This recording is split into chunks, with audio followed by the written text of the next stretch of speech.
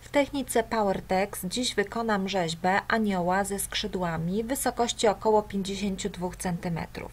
Do wykonania tej rzeźby potrzebuję taki drewniany cokół z grubym kołkiem, drut florystyczny, Popiersie gipsowe to są takie duże popiersia, które są dostępne w naszym sklepie. One mają około 12 cm wysokości i właśnie takiego popiersia użyję dziś. Dodatkowo będę potrzebowała taki klocek styropianowy jako podwyższenie, tkaninę bawełnianą, może to być t-shirt, jutę taką e, luźno splataną w kolorze naturalnym lub ecri oraz inne e, materiały, na przykład cotton sleeve. Przyda mi się taka ściereczka bawełniana z rolki. Oczywiście będą mi potrzebne rękawiczki, miska, jeśli jest to metalowa, to zabezpieczona folią. Cokół, jak widzicie, ma jakąś wysokość. Tutaj przymierzam to popiersie, no ono by mi tutaj wyglądało dość nieproporcjonalnie w stosunku do długości reszty ciała, więc ja e, zastosuję sobie taki klocek styropianowy jako podwyższenie. I oczywiście muszę to e, odpowiednio umocować, uformować, a to wszystko pokażę Wam tutaj w kolejnych krokach. Najpierw e, zajmę się tym, aby umocować i uformować popiersie do klocka styropianowego. W tym celu używam folii e, aluminiowej i tak jak widzicie ja tę folię zakręcam na ten klocek po to, żeby wyrównać e, tutaj tę grubość klocka do grubości e, torsu tej kobiety. W tej chwili ugniatam i przyklejam taśmą papierową malarską. Dlaczego papierową? Dlatego, że będziemy używać preparatu PowerTex, a on E, usztywnia e, wszystkie materiały naturalne, czyli nie mogę tutaj użyć folii e, takiej plastikowej. Jak widzicie, taką folią mam zabezpieczony blat. W tej chwili uformuję piersi. Y, wiem, anioł y, podobno nie ma płci, ale to będzie figura, która pozwoli Wam później zrobić każdą inną figurę, na przykład kobietę. Żeby zrobić piersi, zrobiłam dwie kuleczki, takie około 2 y, cm i w tej chwili ugniatam je, aby nadać im naturalną, naturalny kształt piersi. Za chwilę pokażę Wam, jaki one tutaj mają kształt. Tu jak widzimy, pierś schodzi gładziutko po bokach i od góry, natomiast jest wypukła od dołu, tak żeby nam się tutaj e, ładnie układała e, szata na, na tym popiersiu, na tej rzeźbie.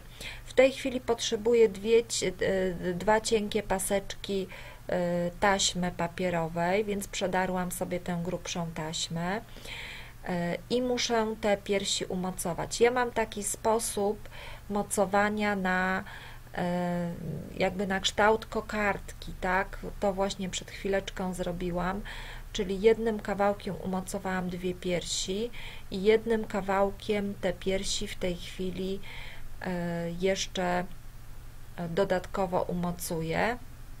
Jak widzicie w zasadzie dwa kawałki taśmy bez żadnego urywania kawałeczków i piersi nam tutaj bardzo ładnie e, już e, są i ukształtowane i umocowane. Ja to jeszcze oczywiście wzmocnię, bo tych wzmocnień dzisiaj będziemy stosować dość dużo.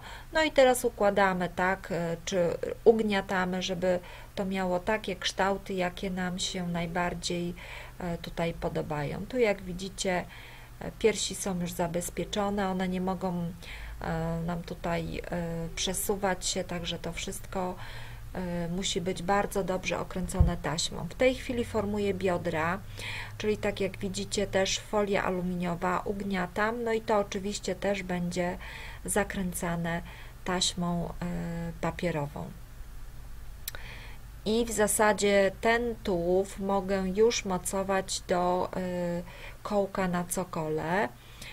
Y, do tego oczywiście używam y, taśmy papierowej cały czas i muszę pamiętać, aby to popiersie z tym styropianem było bardzo mocno dokręcone do tego kołka. Zobaczcie, ile razy ja tutaj będę tę taśmę okręcała i wzmacniała na różne sposoby. Możecie oczywiście podejrzeć te moje sposoby. Dla mnie się one tutaj sprawdzają najbardziej. Ja słuchajcie, trzymam tę postać i bardzo mocno tę taśmę dokręcam do dołu. Za chwilę będę jeszcze takimi kawałkami mniejszymi doklejać E, z czterech stron, czyli przód, tył i boki, e, tak aby to mi się naprawdę bardzo mocno trzymało. Tutaj cała ta folia musi być zakryta taśmą, po to, aby ona miała to wzmocnienie. A tu jest ten moment, o którym przed chwilą Wam wspominałam, czyli trzema kawałkami pionowo doklejam e, tę postać i teraz jeszcze tam, gdzie one się łapały na początku i na dole, to ja je jeszcze mocno okręcam taśmą e, malarską. E, no i tutaj mam pewność, że ta figura trzyma się bardzo dobrze. Ona się nie może chybotać, nie może się kolibać. Tak jak widzicie, musi tworzyć całość z tym cokołem. E, no i teraz przechodzimy do konstrukcji rąk. Odcinamy sobie drut Oczywiście e, długość to w zależności od figury, jaką e, mamy. Tutaj e, około 45-50 cm. Tak jak widzicie, ja, ja to sobie przymierzam dokładnie do górnej części ramion, okręcam druciki, tak aby mi powstały rączki i zakręcam taśmą aluminiową, folią aluminiową, bardzo dokładnie ugniatając i jednocześnie e, zjeżdżając na dół, czyli zwijając bardzo mocno. Ta e, folia aluminiowa nie może mi jeździć po tych rączkach. No i tutaj jest też bardzo ważna rzecz. Te rączki muszą być tak ukształtowane, żeby ten drucik był tylko na plecach, nie tak jak w tej chwili pokazuję na ramionach, ponieważ te ramiona muszą tworzyć nam całość E, z popiersiem gipsowym, czyli to musi być kształt, e, tak jak widzicie tutaj ładnie, równiutko mi schodzi e, z ramienia na, na rękę.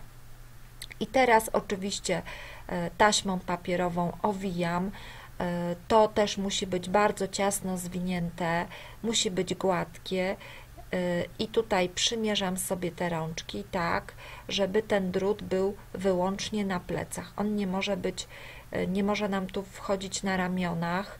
E, na ramiona wchodzi nam tylko i wyłącznie ta część z folią aluminiową, czyli uformowane takie kształty rączek. W tej chwili przyklejam te ręce do, do plecków. Ja je jeszcze oczywiście będę wzmacniała później, dlatego nie martwcie się, że to był jeden czy dwa kawałki taśmy, one będą się doskonale trzymać. A teraz skrzydła. Wiele osób pyta, jak mocować skrzydła. Ja to robię właśnie tak. Ucinam sobie około 80 cm drut na pół, zginam go w górę i tak jak widzicie, mocuję od pasa. Od pasa mocuję już skrzydła wtedy ja mam gwarancję, że te skrzydła będą się trzymały i one udźwigną tkaninę, która na nich zawiśnie. I tak jak widzicie, mocuję je ile mogę taśmą. W tej chwili ucięłam e, tkaninę na suknię, e, e, a teraz przymierzam rękawki. To są, słuchajcie, mm, kształty, które ja osobiście gdzieś tam sobie wypracowałam. E, chodzi o to, żeby po prostu owinąć postać i stworzyć dla niej szatę. A w tej chwili pocięłam e, kawałki e, bawełnianej ściereczki. To jest taka bardzo fajna ściereczka, którą Wam pokazywałam w poprzednim projekcie z PowerTexu, gdzie Was też zachęcam do obejrzenia, bo tam widać konstrukcję postaci jeszcze innym sposobem. I tę ściereczkę owijam bardzo dokładnie na postać, to znaczy na rączki i tutaj zawijam aż przez plecy do drugiej rączki i w tym momencie mam gwarancję, że ta postać będzie się doskonale trzymała, rączki nie będą się chybotały, więc zachęcam Was tutaj do tego sposobu. Oczywiście są inne sposoby. Wiem, że niektórzy malują tę postać najpierw, a później okręcają. Ja wolę e, ten sposób, ponieważ E, okręcając tutaj najpierw tymi kawałeczkami pasków. Ja nie muszę się martwić, że coś sobie dotknę, pobrudzę, ponieważ nawet jeśli tak się stanie, to ja sobie tutaj to ładnie zamaluję jedną warstwą PowerTexu. I tak jak widzicie, jak mi kawałeczki zostaną, to ja sobie owijam na, na piersi, tutaj na te elementy, które będą pod szatą. No i w tej chwili, jak widzicie, owinęłam e, tę postać aż e, w zasadzie do e, drewnianego kołka, a w tej chwili pokrywam całość PowerTexem. Ja używam w tym projekcie PowerTexu w kolorze bluish grey, ale zachęcam Was do eksperymentowania z różnymi kolorami. No i E, postać sobie wysycha. Oczywiście pokryłam również druty, te druty, które będą e, potrzebne do skrzydeł, po to, żeby one mi się później tam nie odznaczały spod e, tkaniny. A w tej chwili formuję rękaw.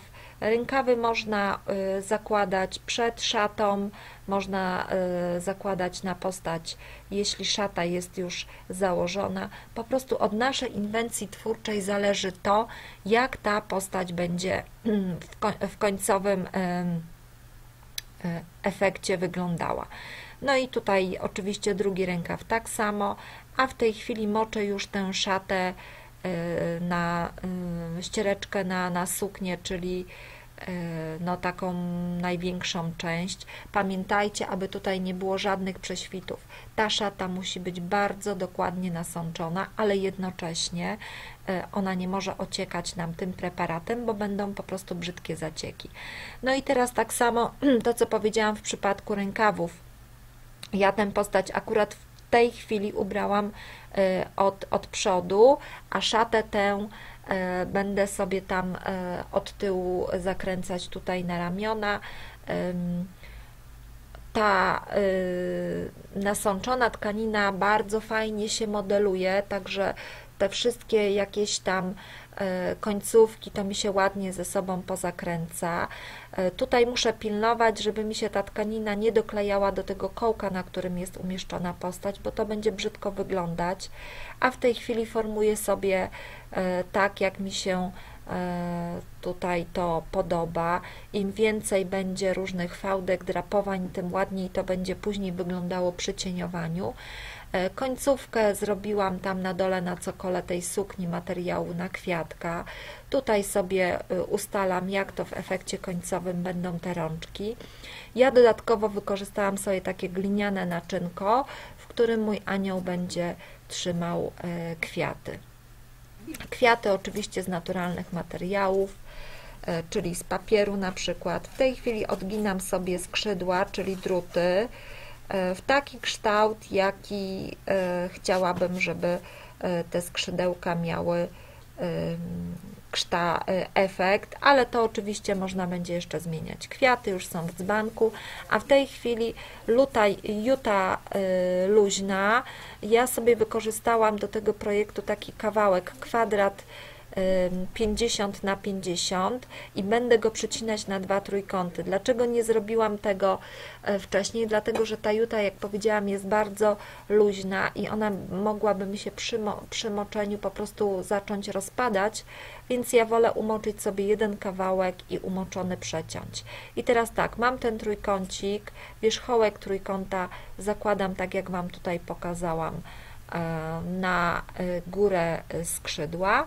No i teraz e, formuję e, te moje skrzydła, układam. Jeśli tam za dużo tych e, sznureczków zwisa i to się nie podoba, to oczywiście można odciąć, można zostawić takie nieregularne, zwisające, one wcale nie muszą być równe. Te skrzydła możecie zrobić o właśnie tak do tyłu, można odchylić je do przodu, jak komu się podoba tak można sobie je uformować. Ja wiem dzięki mojej metodzie, że one się będą doskonale trzymały, więc e, mogę się tu z nimi bawić. Tak wygląda moja figurka po wyschnięciu. E, ona jest już ładnie usztywniona, więc w tym momencie będę mogła przejść do e, cieniowania. Jeszcze tutaj w tym momencie chciałabym Wam powiedzieć, że te skrzydła możecie zrobić z gazy, z jakiegokolwiek innego materiału. One wcale nie muszą być takie przezroczyste.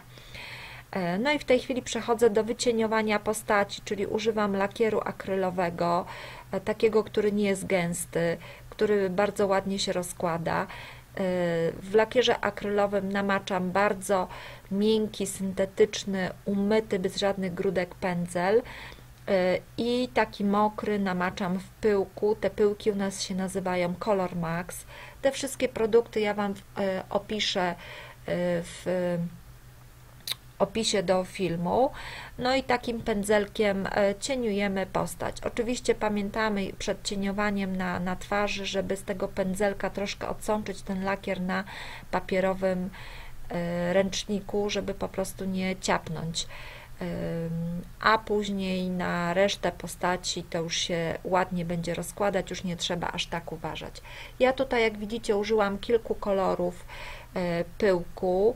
W tej chwili nawet dodałam lekko złota, a w tej chwili lakierem e, w sprayu e, popsikałam skrzydła i używam sobie brokatu bezbarwnego. Tutaj troszeczkę też dodałam białego piasku, ale nie jest to konieczne. I tym brokacikiem posypuję skrzydełka. A tak prezentuje się E, cały mój e, anioł wycieniowany z widocznymi połyskującymi skrzydłami, trzymający kwiaty, więc e, mam nadzieję, że w przystępny sposób i dość szybko zaprezentowałam Wam, jak stworzyć takiego anioła. Jeśli podobał Wam się mój projekt, Zachęcam, aby powtórzyć. Zapraszam na stronę naszego sklepu kreateria.pl, gdzie możecie zakupić wszystkie potrzebne materiały, a ja służę swoją pomocą. I zapraszam Was oczywiście do Wrocławia Kreateria. Dziękuję.